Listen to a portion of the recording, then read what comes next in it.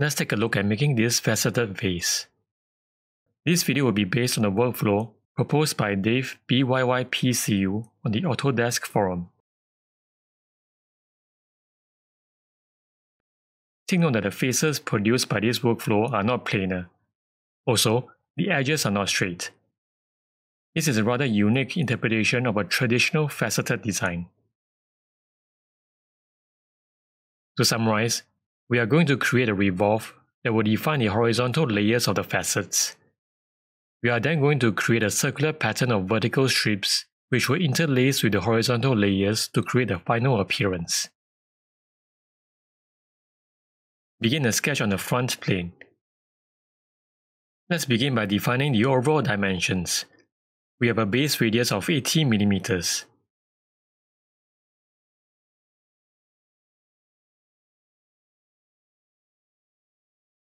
The height will be 240.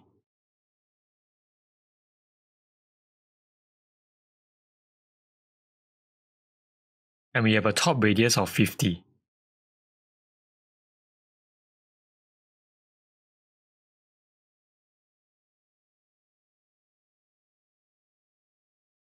Create a three-point arc joining these two points.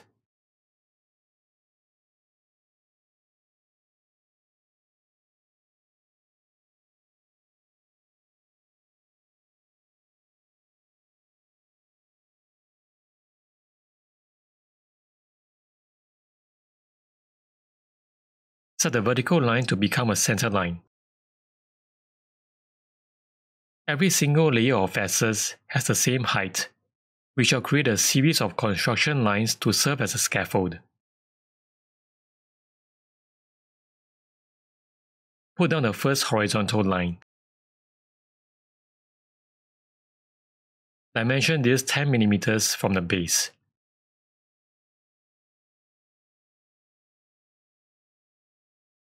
Set this line to construction.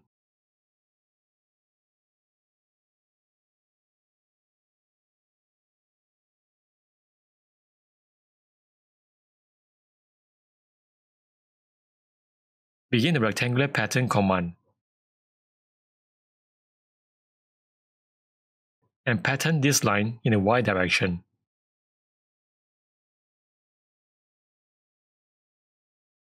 Set distribution to spacing. Adjust the quantity and spacing.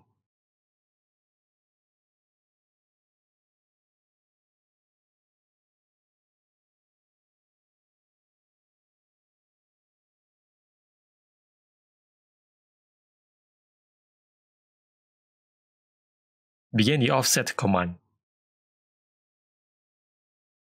Remove the chain selection option so that we can select single entities. Create an offset of the arc towards the center line.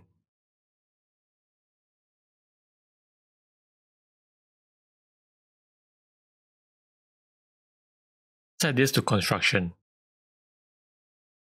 This offset will define the depth of the facets. I actually need this arc to terminate on the top and bottom edges.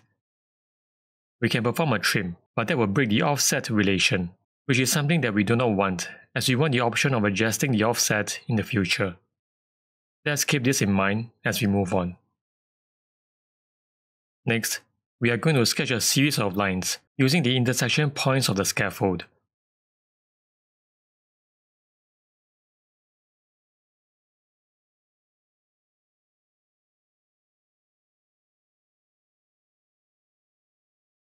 Continue doing this until you reach the top.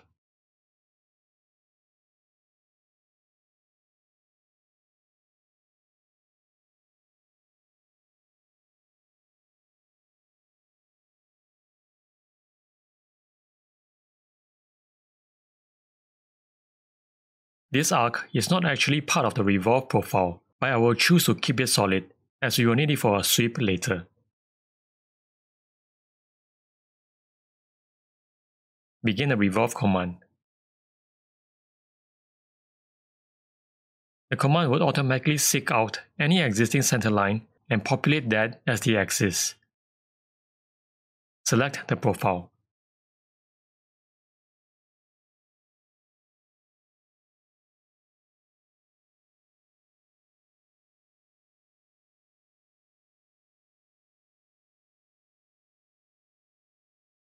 Let's hide the body and bring back the sketch. Create a new sketch on the front plane.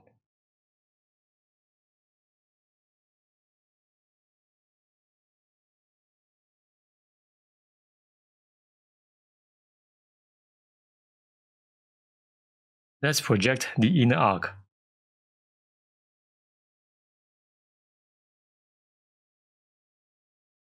I want this arc to terminate on the top edge. Theoretically, if we hover over this point, we should see the project constraint appear.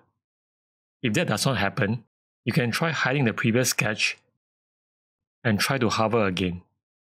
Now we see the project constraint. We can select this constraint and delete it. By deleting the constraint, we are free to drag this point. Notice that as we drag, it stays true to the offset, as the rest of the line is governed by its own offset constraint.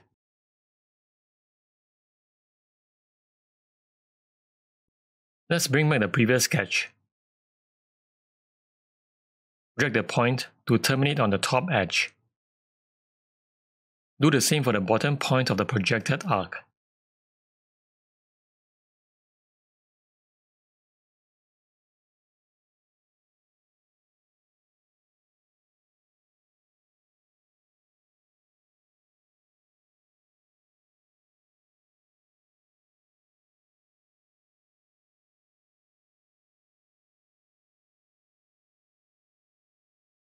Exit the sketch. Hide the previous sketch. Activate the Surface tab. Go to Create, Revolve. Revolve the projected arc by 15 degrees clockwise looking from the top.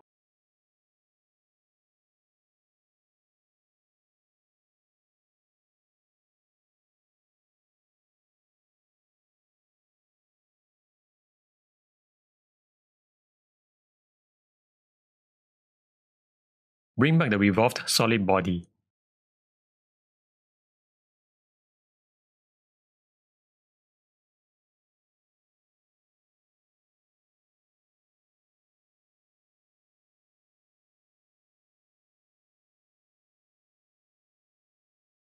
Begin a sketch on the bottom face.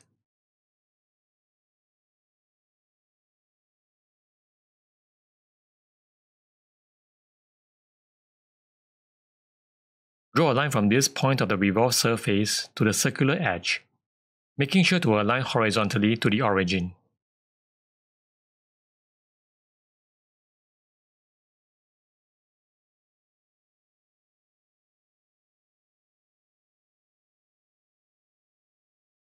Hide the solid body and bring back the first sketch.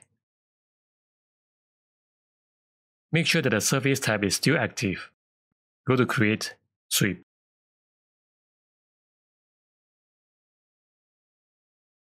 For type, select Path plus Guide Rail. Remove the Chain Selection option.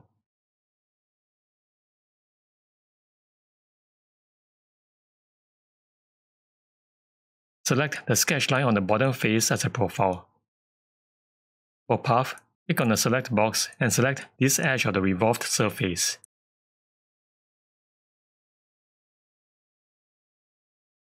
For Guide Rail, click on the Select box and select the outer arc in the first sketch.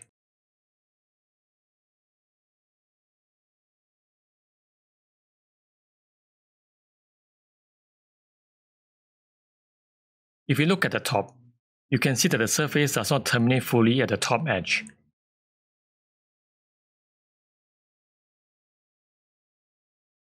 To resolve this, go to Extent and choose Full Extents.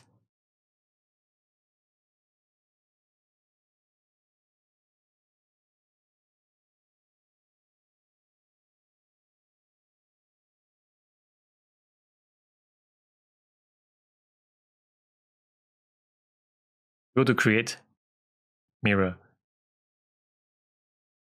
For object type, select bodies and select the two surface bodies. Mirror across the front plane.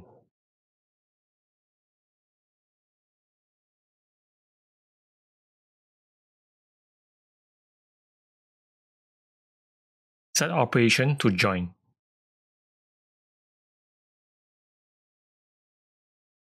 We need to close these two ends.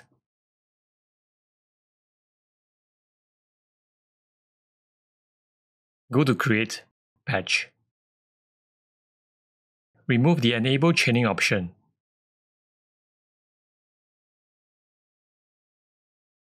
Select these three edges.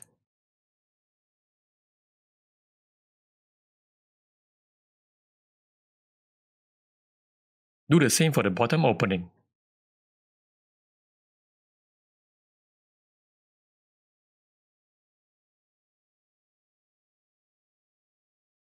Go to Modify, Stitch.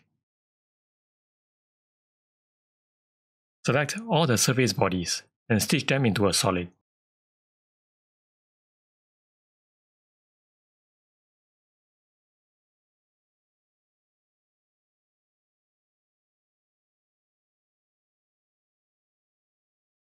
Bring back the revolved solid.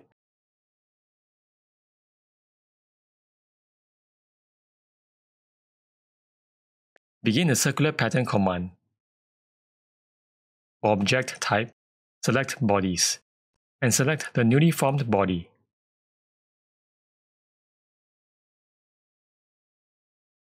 Select the y-axis as the axis. Adjust the number of instances.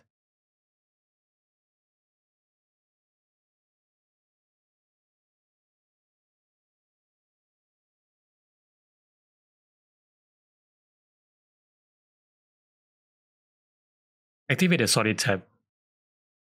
Go to Modify, Combine.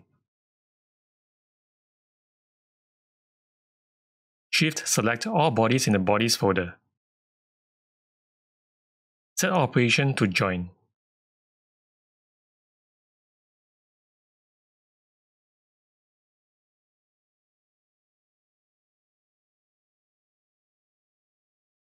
To create a pattern of rings near the base, Let's roll the timeline back to the point just after the solid revolve was done. Create a sketch on the front plane.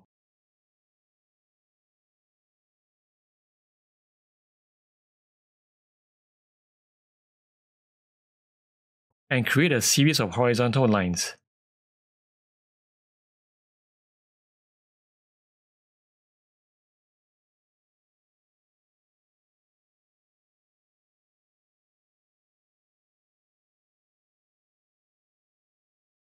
Go to Modify, Split Face. And split this face with a single sketch line.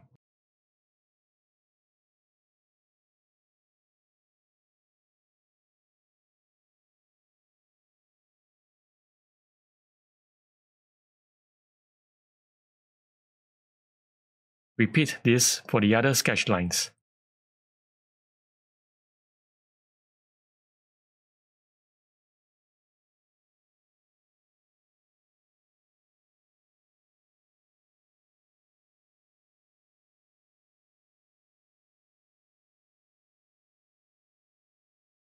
Go to create pipe.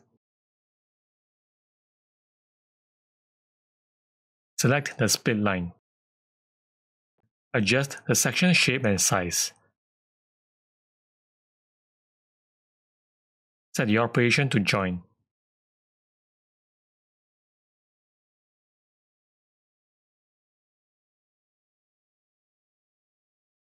Repeat for the rest of the split lines.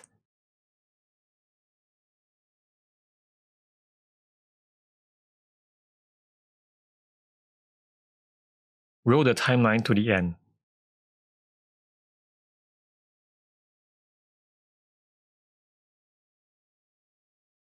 If we add a fillet along the base edge, you can see that it pulls back from the vertical strips, giving it a more interesting look.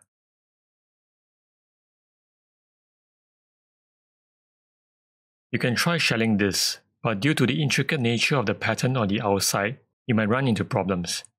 So you can just perform a simple revolved cut